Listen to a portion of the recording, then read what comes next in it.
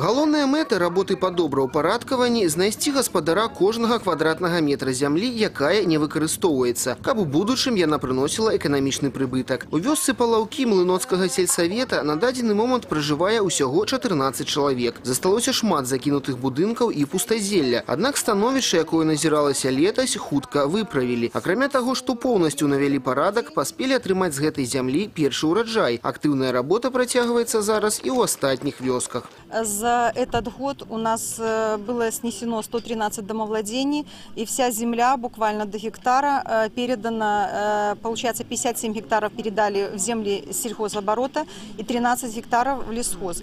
С- И вы прекрасно можете увидеть, что сегодня земли обработаны, э, с вот этой земли уже был собран урожай. Урожай, я считаю, для первого года неплохой. Увогуле за апошнія чатыры гады ў ельскім раёне было знесена амаль 1300 закінутых дамоў. Зямля, дзе знаходзіліся будынкі, доўгі час не пуставала. Амаль адразу яна была перададзена ў гаспадарчы абарот сельгаспрадпрыемствам альбо лясгасам. Прежде чем производить снос в населенных пунктах, мы определяем земли, которые освободятся после сноса, куда их, то ли в лесное хозяйство, то ли в сельскохозяйственное.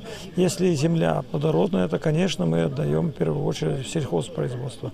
Ну, а где э, пески, как говорят, неудобицы, мы решаем и отдаем, конечно, э, в лесное хозяйство, так как лес растет даже сосна на песках. Цель наша общая заключается в том, чтобы мы объединили все свои усилия, как власть, так и наше население, в деле наведения и поддержания порядка.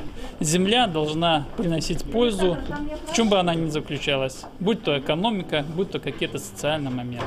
За апошнія два гады ў сельгасабарот вобласці было перададзена больш за 40 тысяч гектараў зямлі. Правядзенне выязной сесіі на тэрыторыі ельскага раёна добрая магчымасць на практыцы азнаёміцца з работай, якая праводзіцца па добраўпарадкаванні і падзяліцца сваім вопытам. І калі кампетэнтныя асобы аб'ядноўваюць свае намаганні, гэта значна спрашчае вырашэнне агульнай задачы. Самая главная цель, чтобы люди, которые проживают, в том числе в глубинке, чувствовали себя комфортно. Поэтому я уверен, то, что сегодня сессия удалась. Много увидели, я общался со своими коллегами, с депутатами областными, значит, с районными.